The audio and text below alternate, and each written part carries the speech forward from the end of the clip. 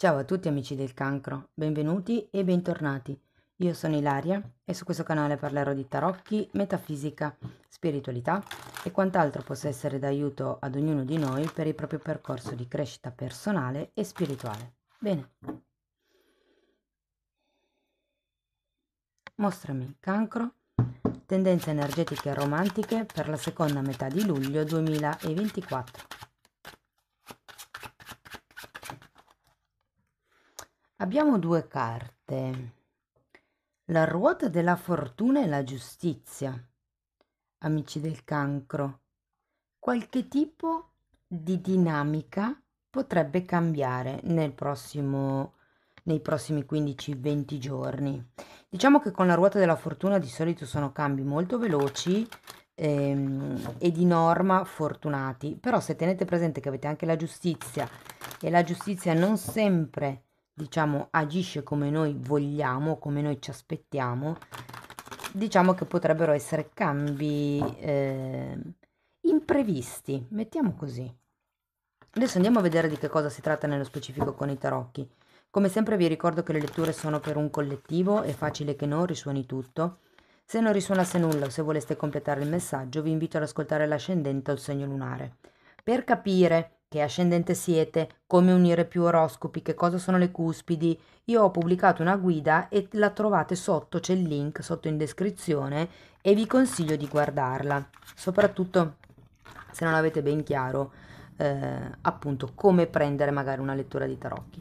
Sempre in descrizione trovate anche la mia mail nel caso vogliate contattarmi, trovate i link alla playlist per l'oroscopo annuale stagionale ho appena pubblicato le previsioni per il secondo semestre del 2024 e sono quattro, una generale, una sulla crescita spirituale, una sull'amore e gli affetti e l'altra sul lavoro e l'economia. E sempre in descrizione ragazzi trovate anche il link per i corsi gratuiti presenti sul canale. Bene, andiamo a vedere le energie disponibili. Abbiamo un 4 di bastoni, un 2 di bastoni, un 9 di spade,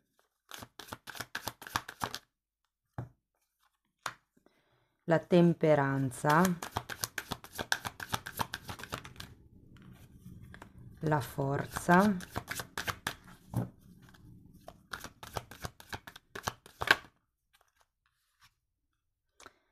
e asso di spade. Mm. Dunque ragazzi, ehm, in questa lettura io potrei parlare della vostra energia o dell'energia del partner o della persona di interesse.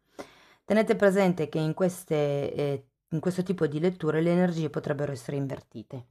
Se siete single, cercherò di dare come delle indicazioni anche per i single, ma tenete presente che ho pubblicato una lettura a tre scelte e la potete integrare con questa lettura. Allora, partiamo da questo 4 di bastoni che mi dà proprio un'idea di stabilità, eh? stabilità, di mm, continuità, o come la sensazione che sia esattamente un po' quello che, ehm, che stiate bene così come siete, nel senso è come se aveste raggiunto un certo tipo di, appunto, di stabilità. Adesso andiamo a vedere con i mini tarocchi perché per qualcuno potrebbe fare riferimento a una casa, visto che comunque anche qui abbiamo la giustizia, quindi ci potrebbe essere stato come un raggiungimento di un risultato. Wow! Re, regina di coppe. Qui sento che si parla di una coppia, ragazzi, eh, ben affiatata. Anche se poi c'è quel 9 di spade che, insomma, mi lascia un po' perplessa, però andiamo poi a vederlo. Adesso iniziamo a vedere questo due di bastoni perché mi dice che probabilmente c'è un qualche cosa che non vi convince del tutto. Se siete single ragazzi ho come la sensazione che ehm, stiate abbastanza bene ma in un certo senso sognate con avere qualcuno di fianco a voi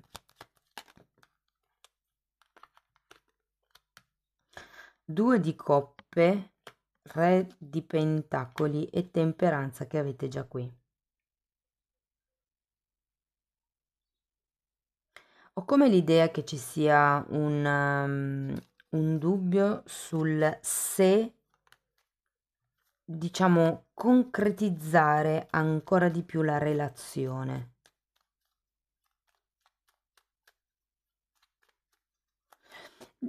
Ho l'idea che ci sia la voglia di guardare al futuro, ci sia la voglia di costruire, ma c'è, adesso vado a vederlo questo 9 di spade, c'è qualcosa che vi preoccupa all'interno di questa relazione e ho come eh, la sensazione che qualcuno di voi pensi che possa risuccedere un qualche tipo di dinamica che è già capitata in passato.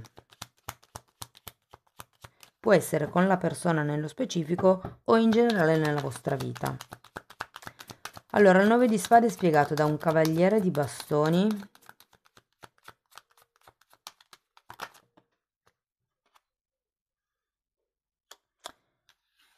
da un 4 di spade e da un 10 di pentacoli. Voglio una carta per il 4 di spade. Hmm. Amanti al contrario. Allora, la vostra energia la sento pronta, pronta per andare avanti, pronta per. Mentre l'energia dell'altra persona la sento come, um, come se ci fossero diversi livelli. Cioè, da un punto di vista, diciamo così, pratico, fisico, la persona c'è, è presente, ma quando si tratta di andare al livello emotivo, è come se ci fosse una sorta la sento come una chiusura in realtà.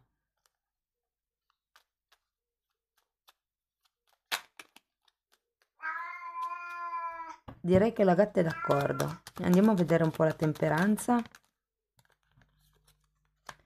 Abbiamo un 6 di bastoni e un 8 di coppe.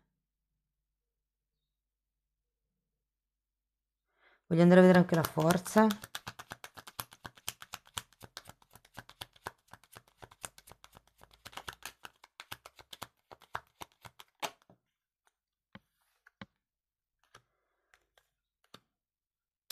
carro e cavaliere di, di pentacoli.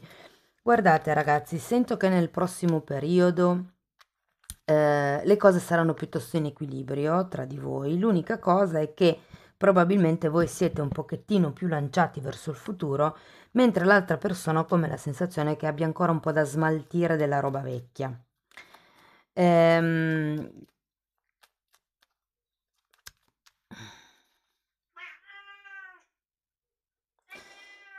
Qui con questa con questo carro ho come l'idea che ci sia bisogno di andare avanti, di fare qualche tipo di passo concreto rispetto alla posizione dove siete già, come se ci fosse bisogno di qualche cosa in più e sento che fa parte di tutta quella cerchia di riconoscimenti, apprezzamenti, eh, il sentirvi dire da parte dell'altra persona che siete importanti, c'è come questo bisogno eh, di verbalizzare. Mm? Difatti poi terminiamo anche con un asso di spada, andiamo a vederlo.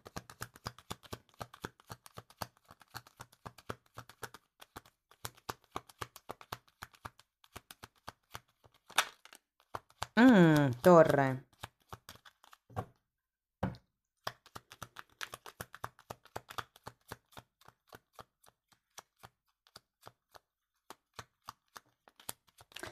So è che con questo 8 di coppe, la carta della temperanza qui, considerato che ce l'abbiamo anche qui, um, è come se vi dicessero chiedetevi che cosa è veramente importante per voi, avere quell'ufficializzazione verbale o rendervi conto invece che magari l'altra persona ogni volta che voi scrivete c'è, è presente e vi risponde. Cioè è un po' come dare una diversa valutazione a quello che già avete, sento. Mm. L'asso di spade spiegato da una torre e da un quattro di bastoni. Andiamo a vedere la torre un attimo. Ragazzi, io ho l'idea che le cose non vadano poi così male tra voi e l'altra persona, anzi direi che c'è piuttosto equilibrio, c'è ehm, reciprocità, mi viene da dire, c'è anche come questa voglia di guardare al futuro, però è come se voi foste più pronti rispetto all'altra persona. Vi dico, l'asso di spade con la torre mi sa tanto di ultimatum, come se eh, ad un certo punto diceste all'altra persona eh, regolarizziamo la situazione o la relazione. Si può trattare anche di comprare casa o di cambiare casa per qualcuno, magari proprio la decisione di andare a convivere. C'è un qualche cosa con questa giustizia che va giustamente ricalibrato e qui avete anche due volte la carta della temperanza, sento che è proprio quello di cui avete bisogno, una sorta di riequilibrio nella situazione o nella relazione. Vi dico, c'è questa voglia di iniziare, cioè più che di iniziare di guardare al futuro e di costruire, però è come se con questo asso di spade si dovesse parlare chiaro, si dovessero dettare le regole da subito.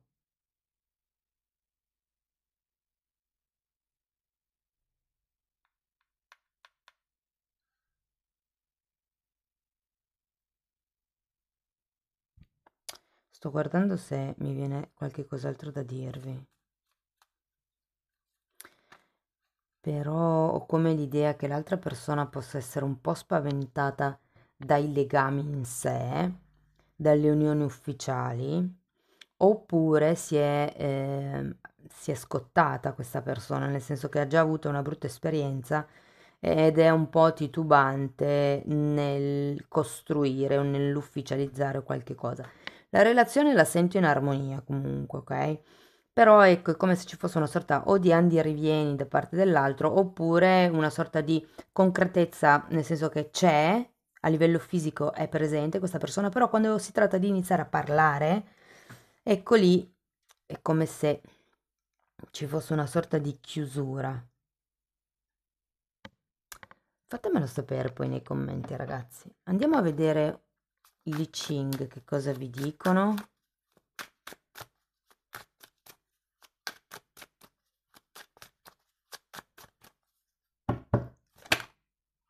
Uh.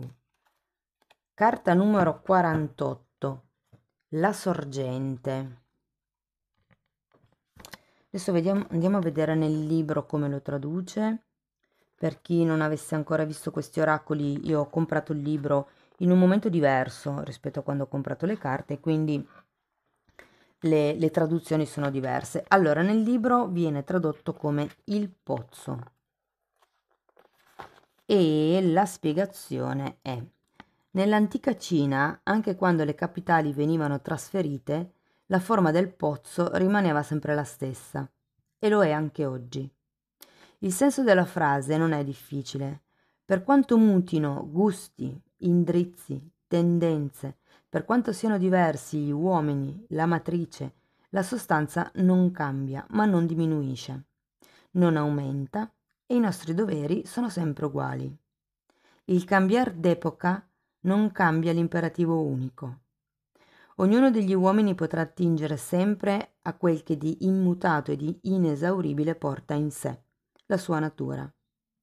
Ci sono però due pericoli.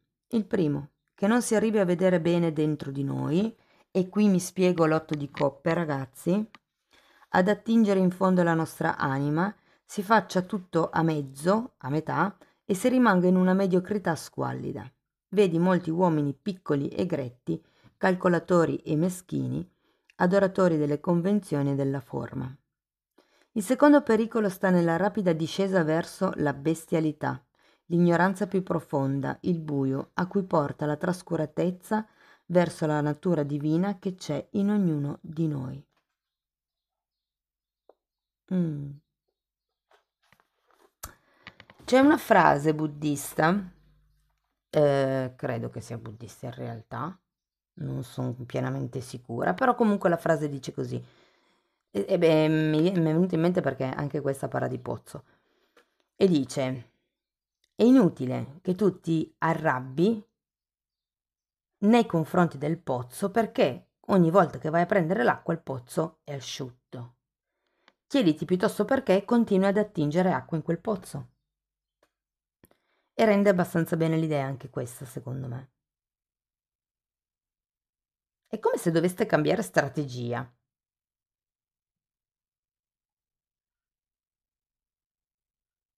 Con questa persona o in questa situazione.